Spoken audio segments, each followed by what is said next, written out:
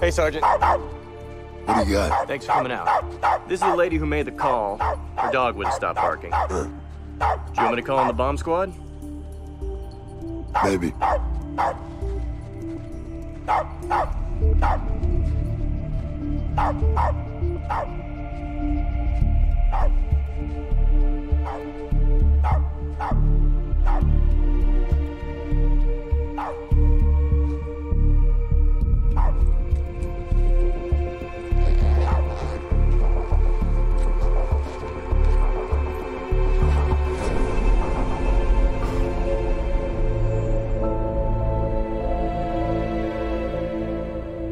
The crime lab.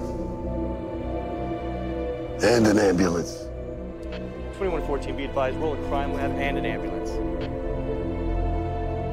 Good to go? Baby's triple zero. Dead? Yeah, but she's cold, so we gotta take her to the hospital to pronounce it. All right, we assigned a patrol unit to follow you. We'll stand by for missing parents or an ID. Crime lab's taking a duffel for Prince's hair, blood. As soon as the body's released from med, they'll start on a blanket and pajamas. Guess what else they found in the bag? Rocks. Looks like whoever did this put them in to weigh it down. How long she been here? Crime Lab says preliminary estimate's seven hours. So, 1, 2 a.m. I check the harbor for cameras, run all the parking meters. I'll check back with the officers, too, see if they got anything on canvas. Good. You know we can hand this off to Area Central Homicide. No. We're gonna find out who did this.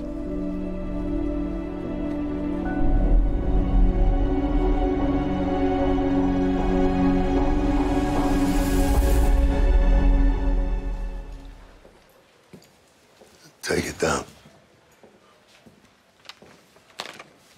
Crime Lab's still working on the pajamas and the blanket, but the duffel was part of a promotion by Punch Sports Club last May. Guy I spoke to said they gave out a hundred of them. That to fill out a card in order to get one? No, they were handed out at a street fair. You know, local band, transfer area businesses, and a radio station. Okay, but what about video? I called the radio station. They had some for promotion. Uh, Street Fair, too. They're sending it over.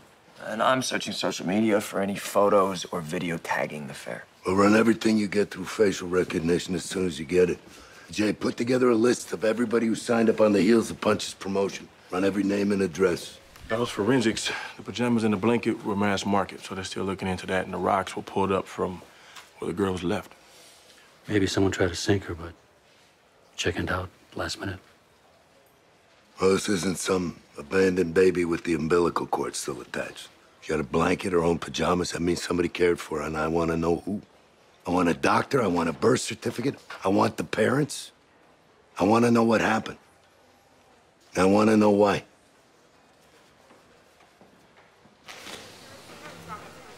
Hey, the, the morgue sent us up here for that baby. She's in trauma one. I don't understand. Dr. Manning, they're here about the baby. Working on her now. Working on her. That baby didn't even have a pulse. Wait, she's alive? Thing is, you have to be warm to be dead.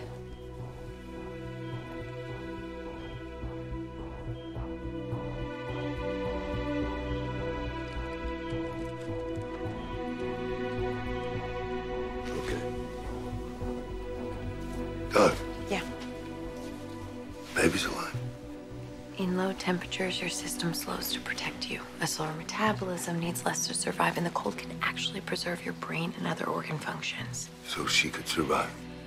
We're rewarming her, giving her fluids, breathing for her, and doing CPR. No promises, but when she warms up more, we'll know a little bit better. Keep a good thought. Hey, Doc, did you do blood panels on her? Yeah.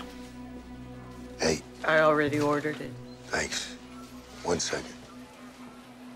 Listen, I want you to stay close. Anyone comes in or out about this baby, I want to know about it. And I want any status update on her condition. Got it. Sorry.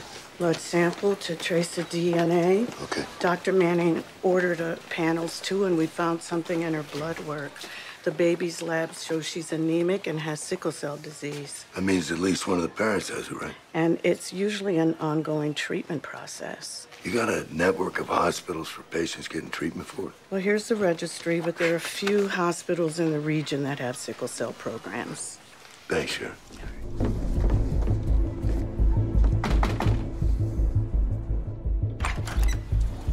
Trey Butler? Yes? I need to ask you a few questions. What were you doing in Chicago last night? I was at a medical clinic there. You drove back at 2 a.m.? My session was over at 1. What is this about? Why is he. Don't worry about him. You got kids? no. You don't have a baby? A brand new baby? No. Hey! Hey, wait here. I got another one where she's frozen. Blue. What the hell?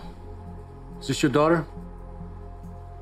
Okay, you got the wrong guy. I don't have any daughter. I, I think you should go. Maybe we do have the wrong guy. We got a DNA kit. Why don't you come back to our district, do the swab thing, talk, and if you're right, you'll be back here in a couple of hours with a formal apology and a six pack. On me. Hmm?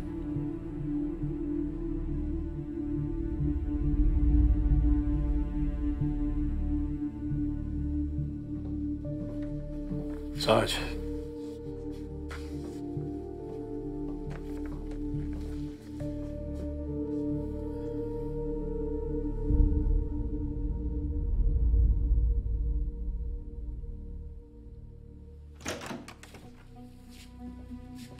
You got a big problem, Trey.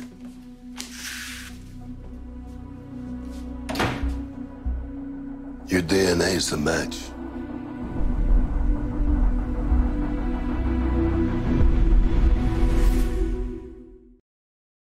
I'm telling you, that test is wrong. There's no way I have a baby. That test says you're lying.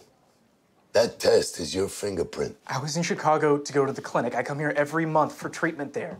That's why my phone You must start have... calling the girls' names in your contacts, they're gonna say they weren't with you? No one I was careless with, no. They would have come to me, I would know. How? Think back. You didn't go to a bar, a nightclub, meet up on Tinder. No. I unzipped the bag this morning. It had your two week old baby and it stuck there like a piece of trash. A piece of trash you hope would wash out to sea.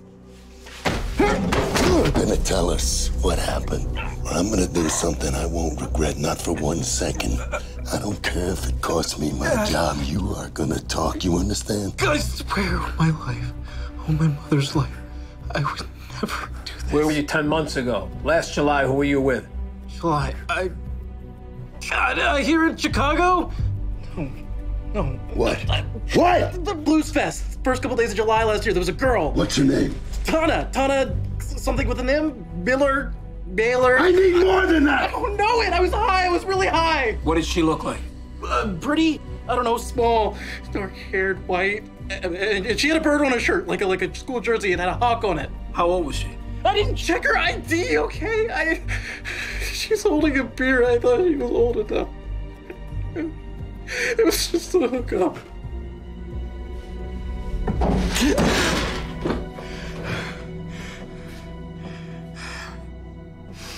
I didn't do this.